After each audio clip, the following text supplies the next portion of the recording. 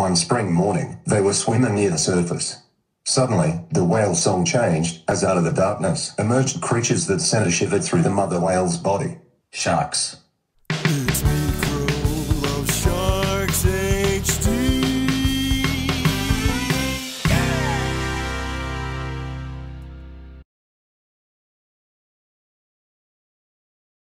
What's going on guys? Welcome back to the channel. Today's video we're going to be reading Migaloo the Famous White Whale by Mark Wilson. And we got this when we got back from Park City, Utah. And um, it was from fishpond.com. And, and I think it came from New Zealand or Australia. Now, now for those of you who don't know Migaloo, I mean, for those of you who for those of you who don't know Migaloo, he was he's an all-white humpback whale that has been spotted off Byron Bay in 1991. And and I'm going to read this book with with help from my text to speech friends. So, um when we when we go in this page, oop, oop, oop, looks like like we got like a, like lot of pieces of these this art stuff. And but and of course Migaloo is the start of the hour. We know that. But anyways let's get reading.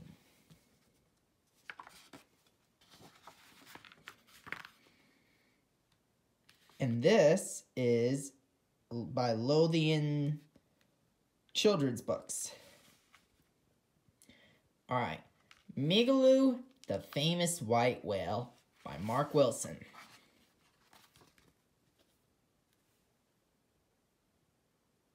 Under a warm tropical sun, a pod of whales swam in the shallow waters off a North Australian beach. Now and then, one would dive, then suddenly burst out of the water in a spray of foam and bubbles. Nearby, another whale floated quietly in the swell. She was about to give birth. A school of mahi mahi swam by as a tail appeared first, then a flipper, and there he was, a little white whale calf. The calf turned towards his mother as they both listened to a wonderful sound echoing through the water. The calf didn't know what the sound meant, but his mother did. It was the whale's song, calling them to set off on the long and dangerous journey south. As they entered a bay to rest one night, strange creatures gathered around them. Many had come a long way to see the calf, the only all-white humpback whale in the world. They call him Migala. Migaloo was scared and stayed very close to his mother as the strange creatures circled them. His mother swished her tail at them, but they wouldn't go away. So finally, she nudged Migaloo towards the open sea and they continued on their journey. Each evening, as they tried to find somewhere to rest, the same creatures would come to meet them. But there seemed to be more and more creatures each time. So mother and calf would head for the open sea once again. Migaloo's mother kept him close. She knew that his white skin would make it easy for predators to see him through the clear blue water. Every day as the whales sang, Migaloo slowly learned to recognize the different sounds and what they meant. He would try to sing along, but he could manage only short grunts and groans. One spring morning, they were swimming near the surface. Suddenly, the whale song changed, as out of the darkness emerged creatures that sent a shiver through the mother whale's body. Sharks. Migaloo's mother pushed them backward as the shark circled closer and closer. Migaloo stayed close as she twisted and turned, trying to keep the sharks away. But one shark suddenly stopped circling and came straight at the calf.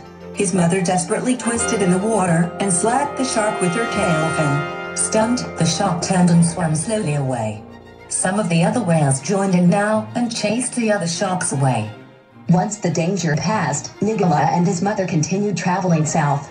Storm clouds gathered above them, and they swam on through rain, hail, and giant waves. For three days, Migaloo and his mother struggled through the storm, but then the skies cleared. The water became calm again, and they entered a new world. The water was teeming with life. There were whales and other creatures everywhere, and huge mountains of ice surrounded them. Then, the sound of a new whale song rang out. The water turned as the whales tried to trap the krill before they could escape. In the confusion, Migaloo was tossed around, turned this way and that, until he finally found himself in calmer waters. All alone. Migaloo desperately searched for his mother, but she was nowhere to be seen. Then, he heard it, very softly in the distance. It was the wonderful sound of the whale's song, calling him home. Aw, they love each other, don't they? On June 28, 1991, an all-white humpback whale was spotted traveling north, in the waters off Byron Bay, Australia's most easterly point. From that day on, people would look out for him all up and down the coast, during the whale's annual migration. As soon as Migaloo was sighted, boats, yachts, aircraft and jet skis would surround him, trying to get as close as possible, until one day, a trimaran accidentally ran over him. He carries the scars of those wounds to this day. The government has now passed special legislation to stop boats going too close to Migaloo. All whales, dolphins and porpoises in Australian waters are protected species.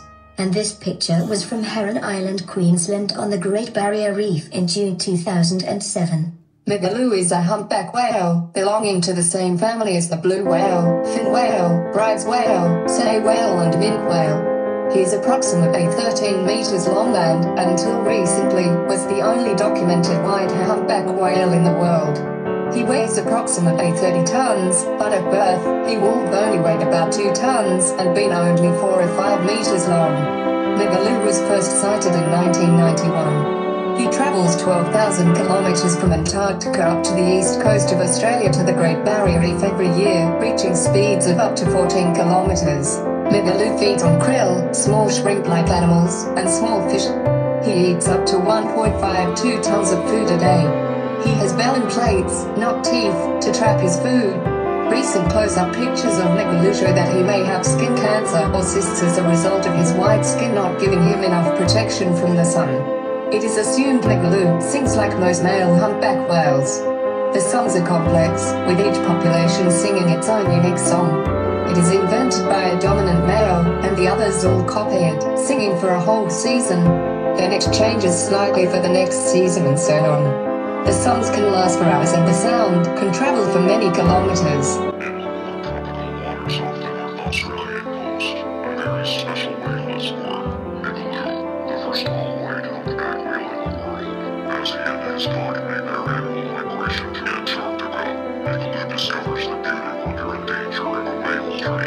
Mark Wilson's exquisite illustrations capture the grace and intelligence of these extraordinary creatures who enchant whale watchers around the world.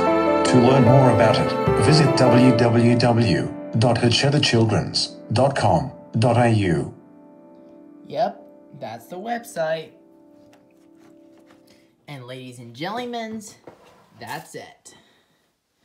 So, uh, don't forget to mash that like button, leave a comment down below, subscribe, subscribe, subscribe. Tell your friends about Miko Shorts HD on YouTube. And we'll see you next time right here on Miko Shorts HD. Check us on Instagram at MLS HD and also on TikTok at Micro Love Sharks. And if you don't like this video, Migaloo's gonna catapult you from your kayak and you will go flying into the air. Thanks for watching. See you guys next time. Peace in the Middle East. To see some behind the scenes and photos, be sure to follow us on Instagram.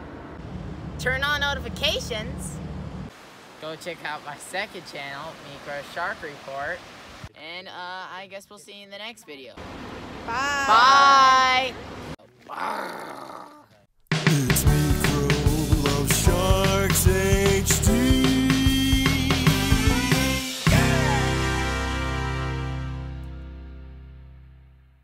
Look at all this art.